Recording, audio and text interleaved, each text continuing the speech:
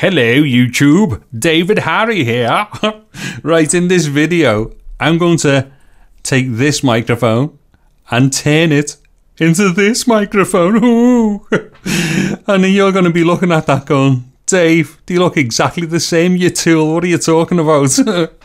right, what it is, I've got these little Sairen microphones which are absolutely fantastic for modifying the dead super simple, right?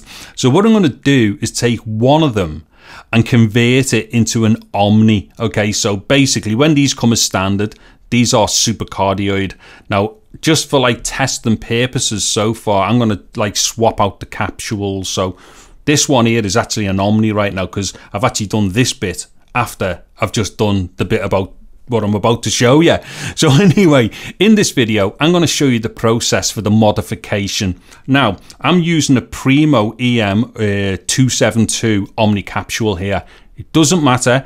You can follow this guide and just use whatever 10 millimeter ECM capsule that you want to. So that can be an Omni, could be a cardioid, cardioid super, could be a figure of eight. Apparently, figure of eight ECMs, little tiny 10 mil ones, are a thing. I never knew that. Anyway, yeah, so just use this as a guide for anything that you might want to do. Also, as well, I will be showing soldering and stuff in this video. I am the world's worst at that particular task. So, whatever you do, do not pick up any bad habits from what I do. What I say is good, what I do isn't particularly good. So, listen to what I say, but don't do what I do if you understand what I'm saying. Anyways, just quickly, there's four of these Sairen mics, right? I did actually order five, only managed to get all the four.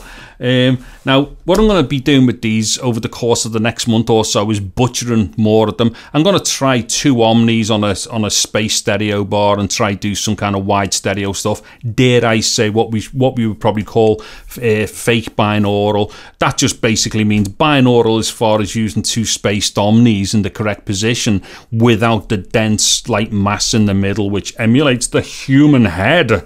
Right, so I'll be doing something like that so I can stick it on top of a camera camera and things like that, and a few other things as well to do with different cardio capsules. I'm probably just mostly going to stick to Primo. However, there are some other capsules that I found which are okay. But like I say, what I'm going to do here, just use this as your loose kind of like guide to whatever it is that you may want to be doing. And yeah, I'll just dive into this. There will be some chapters and things and whatnot. And uh, yeah, I'll come back at the end when it's done. Okay, so the first thing that we need to do here is to remove the tiny little screw, which is the only thing that we have to remove to open up the microphone. So what we do here, we just take the foam filter off the end and then underneath here, as we should be able to see, there is one tiny little screw.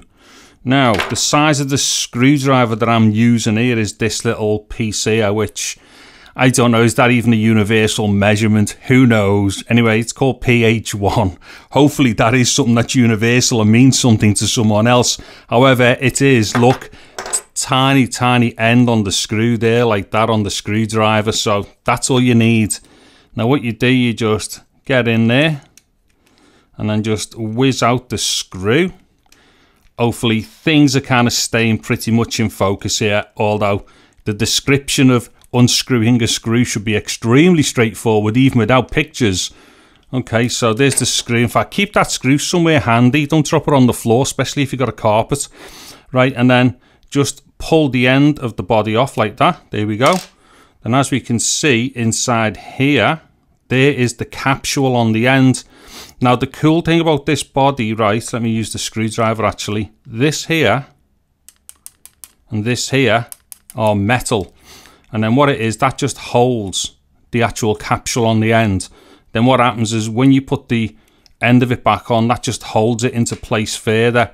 Now, if I just squeeze it out a bit, we will see on the end, it's got like slightly recessed top and bottom there. And that's just so that the capsule can't like move backwards further down the inside there. Now also the capsule has got like this little like foam thing around it now I'm going to use a little rubber ring on the capsule that I'm going to put on. However, what you could do here, you could strip that off it might be glued all the way around. You might have to like, you know, pry at it a little bit, but you could take that foam piece off there and put that foam piece on the capsule that you're going to put in. But nonetheless, that's how simple and straightforward it is to get to this part. So what I'm going to do now is just desolder the two cables that we can see on the end there that are on the capsule. Now to desolder the two cables, you go ahead and do what method suits you best. However, I'm just going to use a clean tip here just to heat it up and then pull the cables off. So what I've done here, I've basically just cleaned and tinned the tip on the actual, you know, soldering iron here. And I'm only using a 15 watt iron. Now the reason for that is, is because you know, you can damage these capsules dead easy, and I wouldn't want to damage the capsule, even the one that I'm going to remove, because I may end up using that capsule on something else. So just be careful not to overheat at this point. So like I say, go ahead and do do it whatever way you feel is the most comfortable way for you do it, for you to do it, sorry. However, I am just going to try and get in here. What it is, the camera's blocking me view. I can't see anything. So try not to leave your iron on it for too long. So try and be as quick as you can. Soon as it melts, just take the cable straight off. And then again with the second one there, there we go. So that's the two pads actually nice and clean there. We can go straight onto that with other cables. And I suppose also as well, the two cables that we've took off there are kind of like pre-tinned as well. So we probably don't need to tin them when we put them onto the new cable. Sorry, I meant the new capsule. We are not putting cables on cables here. We're putting cables on capsules. Actually, just before I go any further, I'm going to do a continuity test here on the cable. So I'm going to bell out the cable here just so we can work out what the polarity is of the wiring. So what I've, what I've done here, I've got my multimeter in buzzer mode. So have a listen. There we go, buzzer mode. So what I'm going to do now is I'm going to check to see where tip off this cable that I've plugged in is going to end up. I think it's going to be the red cable. So what I'm going to do, I've got the red cable in the jaws there on my little, my little snippy pincer things. So I'm going to just touch the tip here on this cable. Then I will just go to the red cable there and there we go. So what that means is the red cable is the live cable. Okay, so I'm now going to tin the pads on my capsule. Now your capsule that you use, because don't forget, you may not be using the same capsule as me. You might be using different Omnis or trying out cardioids and stuff. Now, your capsules may have pre-tin pads on, but this one doesn't. So I'm going to tin the pads here. Now, the thing that you've got to be very careful of is not to damage the capsule with heat. So again, I'm using a 15 watt iron here and just kind of like keep the contact to a minimum. Also, if you've got some way to like, you know, apply some form of heat sink to the capsule, do it. Right now, I've got it clamped with inside some pliers here. As we can see, I've got a rubber band on the end here. These are basic bulldog pliers, you know, those big, thick, heavy ones. Now, this is not by any stretch a heat sink, but two things. It keeps it in place as well as I'm doing it. But because there is a, a bit of metal contact here with something that's like heavy, dense, metal and cold, it will act as a bit of a heat sink as well. So maybe not perfect, but you know, we'll try it anyway. So that might be a, an idea for other people to try out as well. So I'm just going to like use this solder here. I'm not going to tell you what solder to use because people always bitch and moan about these things. So just use whatever you want.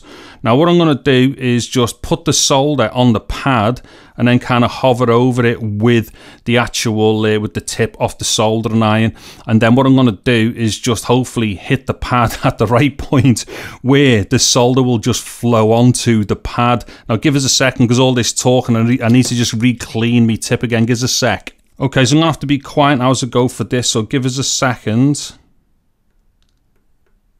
Okay so there we go. There's pad one done. Now let me go for the second pad and there's pad 2 done. Now the thing is what you will find is that the solder will flow onto the pad very easily once it's melted. So like I just done there, just put, just touch the, you know, your solder to the pad and then hover over it a little bit with the tip of the iron. But again, and I need to overemphasize this point loads, do not leave the tip of your iron on the pads or anything like that. The most minimal of touches is all, is that you need to do. What will happen here, you can damage the pads right or damage the actual capsule by overheating those pads. Now, you know, I'm definitely going to make a point of this actually. I know this gets boring, but sod it. Because if you damage the capsule, you may not know you've damaged it because it won't look damaged. But the thing is, things like tone will go all weird and stuff like that. And that's not tone from Tone's Adventures, by the way. because tone's not weird.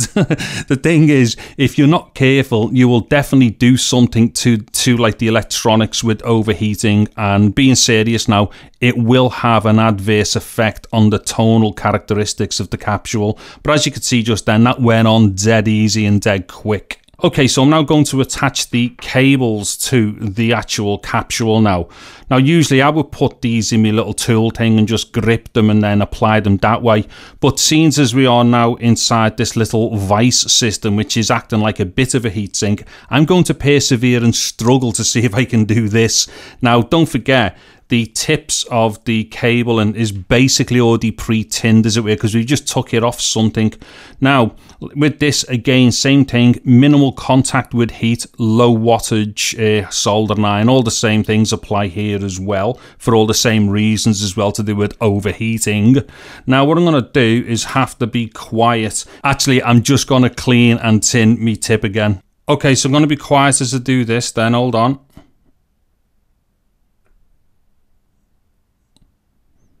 Okay, that looks like my positive one is done. Don't forget positive is red. Now I'm just going to go for the black cable here, which is going onto the other pad, which is going to be your negative or your shield or whatever you want to call it. Now give us a second.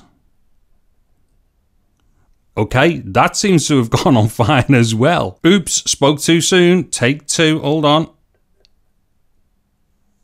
Okay, so take two on the black cable was kind of like mostly successful. At least it stuck to it this time. Now, don't forget, I am terrible at soldering. Yours should look a bit better than this one, or a lot better than this one.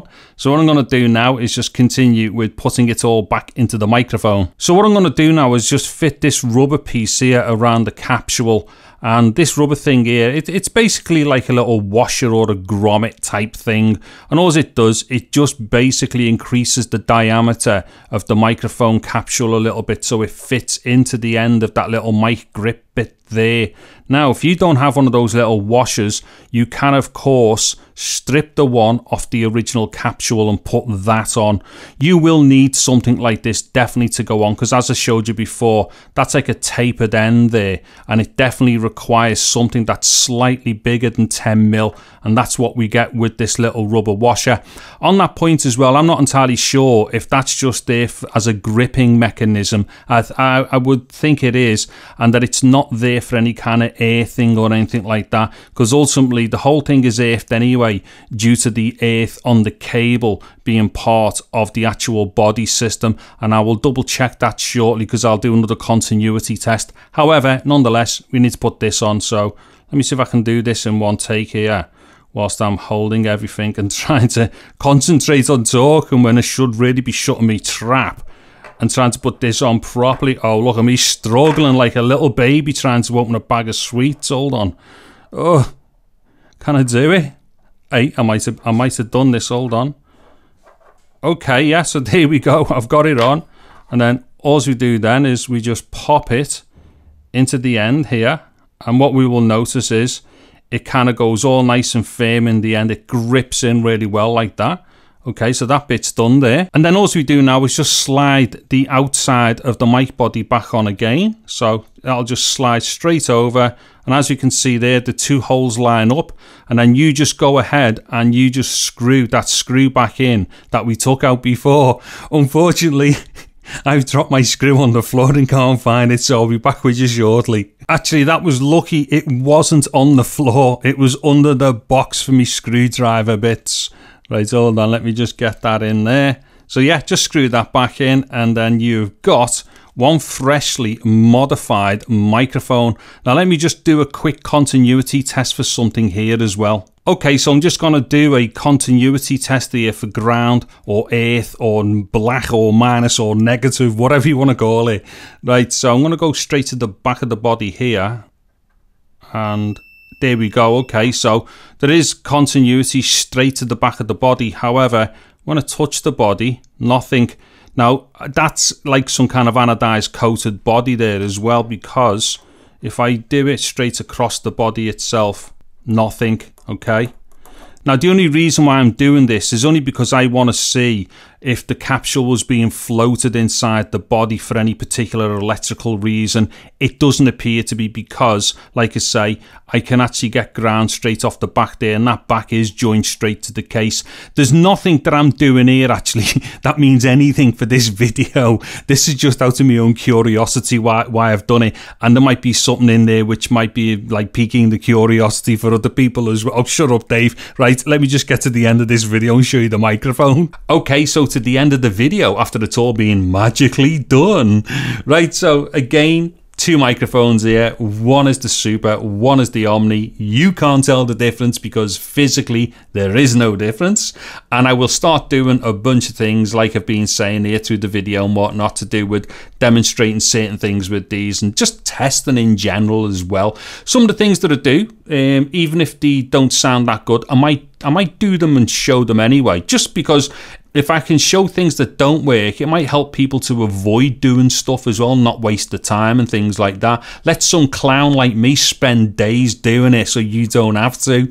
Um, like I say, you know, the video is more of a general overview guide as well for people who are interested in these things. And if there's one take from this video, hopefully it is that this microphone is absolutely superb for like butchering and modifying. When I say the microphone, obviously, I'm not a huge fan of the capsule. I'll have to try the capsule on other things just in case the position of the capsule or a particular type of scenario might work better for the capsule. Not entirely sure just yet. But anyways, there we have it. There will be a whole bunch of things coming up and all that crankiness as well. There's also stuff to do with some of me, um, me cheap BM 700, 800. I'll do them videos quickly soon.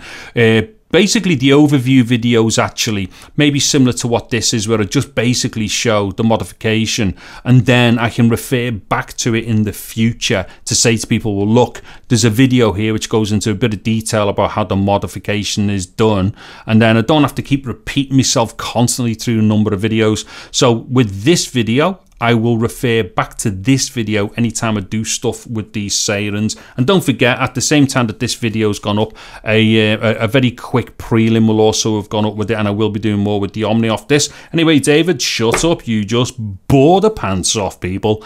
I'm David Harry. Thank you very much for watching this video. Take care, and goodbye now.